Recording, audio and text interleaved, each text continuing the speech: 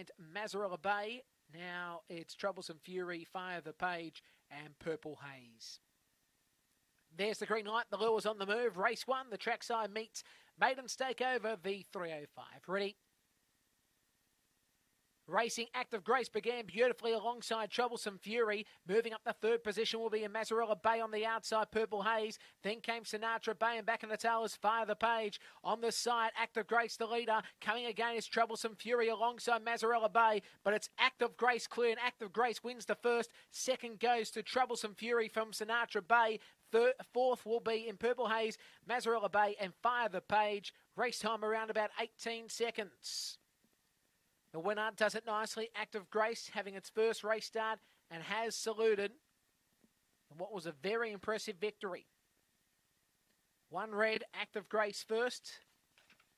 Trained by Dave Peckham. It's a LT Fawn girl from Aston Dee Bee out of Saladana.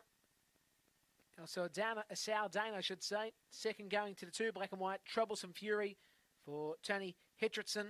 It is a Brindle girl from Aston Dee Bee out of Trouble Waters. And third over the line, the five yellow in Sinatra Bay for Jared McKenna. It is a white and blue dog from Zipping Graph, uh, Zipping Garth, I should say, over Zipping Melody. It will be one, two, five, and eight. One, two, five, and eight. In a time of 1807, 1807.